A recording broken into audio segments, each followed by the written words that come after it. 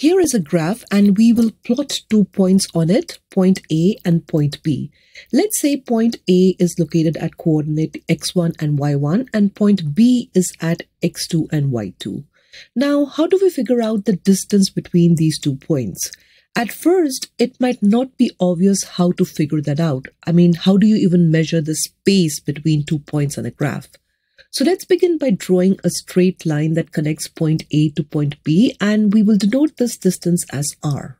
Let's take it a step further. We'll drop a perpendicular from point B onto the vertical axis through point A and from point A onto the horizontal axis through point B. We will call the point where these two lines intersect C. And just like that, we have formed a right angle triangle with points A, B, and C. And this is where geometry steps in. Using the Pythagorean theorem, we can calculate distance between point A and point B. So according to the Pythagorean theorem, hypotenuse square is equal to base square plus height square.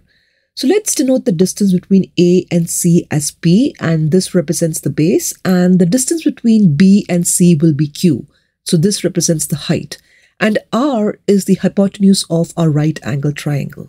If we substitute the values into the Pythagorean theorem, we get r square is equal to p square plus q square, which means r is equal to the square root of p square plus q square.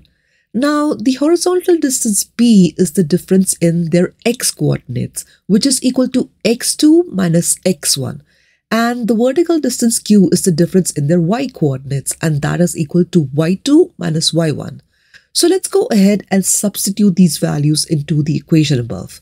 And that's the Euclidean distance formula.